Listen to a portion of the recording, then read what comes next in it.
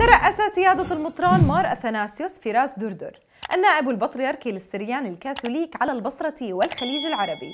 القداس الاحتفالي الذي أقيم في كنيسة سيدة الكرمل للاتين بمنطقة الهاشمي بعمان لقبول مجموعة من أطفال الرعية لسر المناولة الأولى. وقد تم ذلك في ظل إجراءات احترازية بسبب تفشي وباء كورونا حيث اقتصر القداس على الأطفال وذويهم فقط. وبعد أن تليت على مسامع الأطفال كلمات الكتاب المقدس. ألقى سيادته العظة التي استهللها بالتعبير عن فرحه بهذه المناسبة مشيرا بأن هذا الاحتفال قبل فيه هؤلاء الأطفال جسد ودم السيد المسيح. موضحا لهم مدى التضحية التي قدمها لنا الرب من أجل خلاصنا. احتفلت كنيستنا السريانية الكاثوليكية اليوم رعية مريم العذراء في الأردن. بأول مناولة لحوالي 26 طفل وطفلة وحبيت أنه أجي من العراق وأختم سنة الخدمة اللي أنا كنت منتدب فيها بهذه الرعية.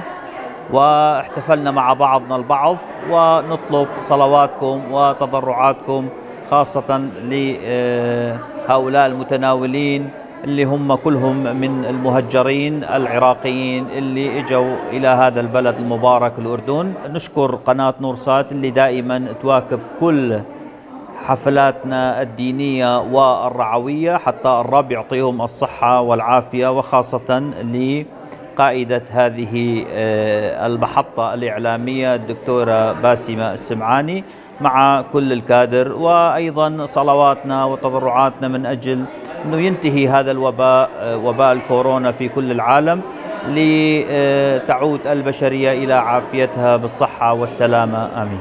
ووسط التراتيل التي رنمت باللغة السريانية تقدم الأطفال مرتدين ثيابهم البيضاء ليتناولوا الإفخارستية المقدسة. وفي ذات السياق ودع المطران دردر رعيته في عمان بعد انتخابه أسقفا على البصرة والخليج.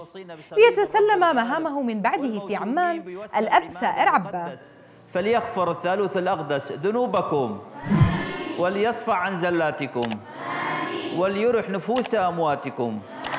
وليرى بي أنا العبد الخاطئ ولتعني صلواتكم امضوا بسلام وأنتم فرحون ومسرورون ونصلي من أجل بعضنا البعض في هذا اليوم المبارك بشفاعة العذراء مريم وجميع القديسين والقديسات. آمين.